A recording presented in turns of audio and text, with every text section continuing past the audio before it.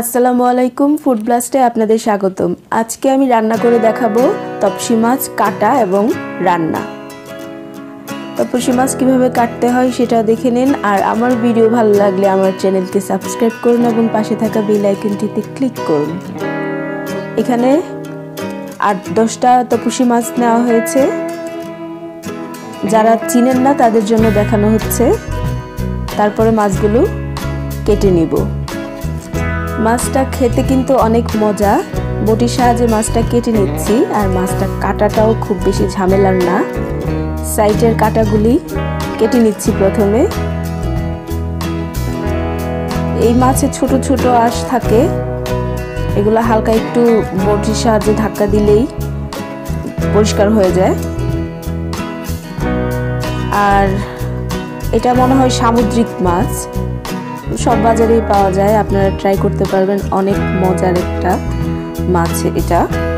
এখন ঠোঁটের যে জায়গাটা ওটা দিয়ে হাত দিয়ে টেনে তারপর বটি দিয়ে কেটে নিতে হবে। আর এটা যে ময়লাটা আছে পেটের, এটাও এই যে টান দেয়াতে ময়লাটা চলে আসছে। এখন লেজটা কেটে নিব। কেটে এখন আপনাদেরকে দেখিয়ে দিচ্ছি, এটার পেটে যে কোনো ময়লা নেই। দেখুন, এটাতে কোনো ময়লা নেই। এভাবে আমি সবগুলি মাছ কেটে নেব। মাছ কাটা হয়ে গেছে।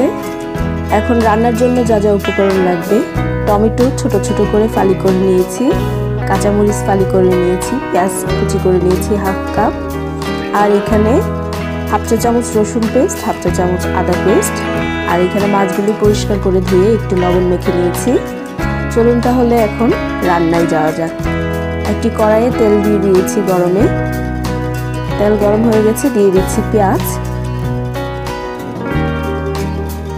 পেঁয়াজটাকে ভাজবো, মোটামুটি একদম গোল্ডেন ব্রাউন কালার করব না। এই পেঁয়াজের মধ্যেই টমেটো দিয়ে ভেজে নিব। প্রথমে টমেটোটা তেলের মধ্যে ভেজে নিলে তাড়াতাড়ি গলে যায়, এই জন্য টমেটোটা পেঁয়াজের সাথে ভেজে নিচ্ছি। এখন দিয়ে দিচ্ছি স্বাদ মতো লবণ।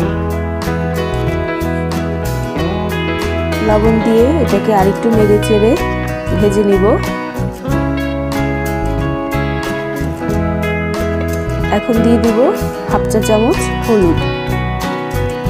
হলুদের গুঁড়াটা তেলের মধ্যে দিলে হলুদের গন্ধটা থাকে না আর এটা দানাও হয় না।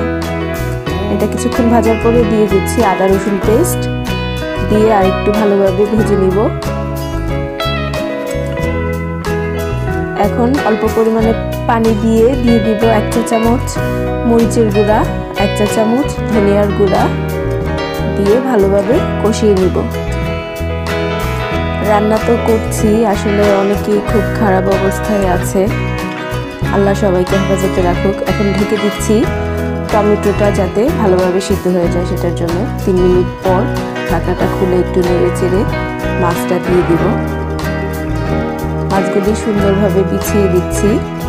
খুবই আলতো হাতে রাখতে হবে যাতে এটা জোরে নাড়া লাগলে ভেঙে যেতে পারে। মাছটা খুবই নরম, মাছের কাঁটাটাও অনেক নরম। আপনারা যারা খেয়েছেন তারা তো জানেনই, যারা জানেন না তাদের জন্য বললাম। এখন এটাতে আবার ঢেকে পাঁচ মিনিটের মতো জাল করব।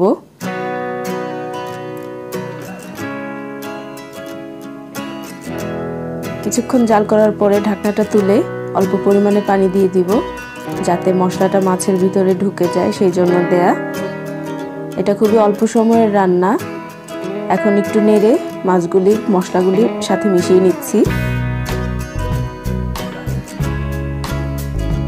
এখন ঢেকে আর কিছুক্ষণ জাল করব।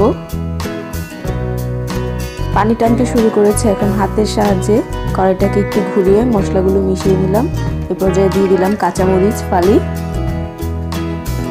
এখন আর একটু পানি টেনে গেলেই হয়ে গেল। হয়ে গেছে, চুলাটা বন্ধ করে একটা প্লেটে সার্ভ করে নিলাম। হয়ে গেল মজাদার তপসি মাছের ভুনা। তো সবাই ভালো থাকবেন, আজকে এই পর্যন্তই। আবার আসব নতুন কোনো রেসিপি নিয়ে। আল্লাহ হাফেজ।